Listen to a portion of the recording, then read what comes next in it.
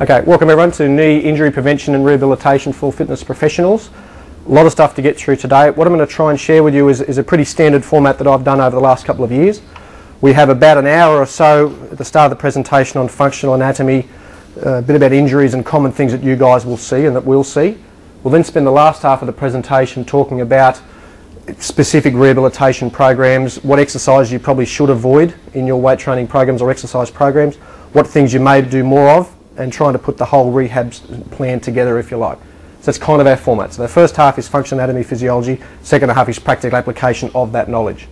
That's your lateral collateral ligament. Now unfortunately, again this as I can say is a right knee, late last year I did exactly a, a pretty severe injury to that and ruptured that lateral ligament. How do you think I'd tear a lateral ligament of the knee? What would I have to do to my foot, do you think, to rupture that ligament? A strong lateral move, movement or what a twist. Yeah, you think about which way it's going to stop. Is it going to stop the movement that way or that way? When's it tight? When my foot goes towards the inside. So can you see if I'm planted on this on my right foot and someone hits me from that side, you see that could potentially stretch or tear that lateral ligament. I want to test his anterior cruciate ligament. I do what they call a Lachman test. So I get him in a bent knee position like this and I try and draw up his tibia. See it moves a little bit anyway? Its idea is what you feel when you, when you get to the end of it. You pull it up and it, and it locks or it, it jams. That means you've got an intact anterior cruciate ligament. If I pulled it up and the thing just moved, so there's nothing stopping that, that anterior movement. Fundamental reason why I don't think they're a great exercise, and, and as a, those have heard me talk before, I argue with myself all the time because my bodybuilder in me, it's been 10 years as a competitive bodybuilder, argues with my physio side. So if I'm, if I'm talking as a physio perspective, I think leg extensions are a lemon as a bodybuilder, I think, gee, I've got to get some work through these quads, and that'll certainly do it and isolate it, and it'll be great. So it's kind of a risk to benefit ratio, and depends what hat I'm wearing. However, as a physio today, the problem with the leg extension, you've got a, I've got a contraction of my quads. We talked before about co-contraction with no contraction of my hamstrings, and that's that's almost non-existent in real life. Okay, it's called a figure four position.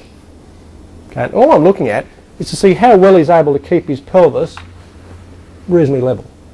If he's got a really tight internal rotators of his hip, he'd be up like that. We're lunging in, knee touches. Look at that. And we're measuring the distance from there to there. Now, we ideally want about 15 centimetres. You'd like to think you about 15 centimetres. And it will vary, it's only a rough test. It'll vary with the height of the person and how long the tibias are. Tall people have a bit of an advantage. No, but it's a rough idea. And what I find even better to do is to compare right to left. Especially if you've had someone that's had an ankle fracture. Um, tight calves on one side, old calf tears. Compare right to left because that may, may show an asymmetry down the track. It's called a lunge test. Now as he squats down, watch his lumbar spine. You can't see, move around so I can see it. So there comes a time, keep going down, Manny. Keep going down, keep going down, keep going down. And come up again. Okay. There's a position in squatting called break. And break just means when you lose your lordotic curve. Now if Matt squats down again, have a look until where it is. Slowly, slowly, slowly. Stop. Break. Okay, so he'd probably come up a touch from there. So that would be as low as I want him to squat. And it doesn't always correlate to what his knee angle is doing. You get a basketballer to do that, it might be a 45 degree knee angle. Okay, it's not about where the knee is as much as where the back is.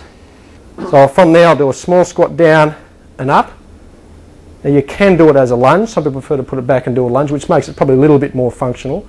But again, if I'm trying to get a, a program together that's not going to stir someone up, but get a bit of something happening here, this is an exercise I don't mind starting with or working into. It's a bit easier than doing a normal step up. And if you put a, um, a medicine ball between the knees and squeeze together, you've probably seen people do that. I'm now coordinating adductors. Now if I add my adduction in, or add adductors, adductors work nicely with my medialis. So if I turn my adductors on, my medialis will turn on better.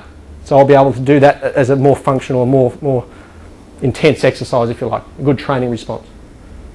Bend, bend, bend. So try and pull forward, pull forward, and then I'll try and pull him back.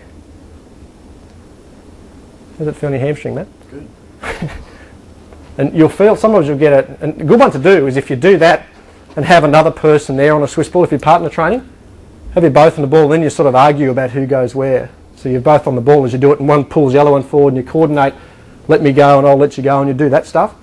It's a really nice hamstring workout. And a little bit more closed chain because now you get your foot stable and your body in motion. Thanks, Matt.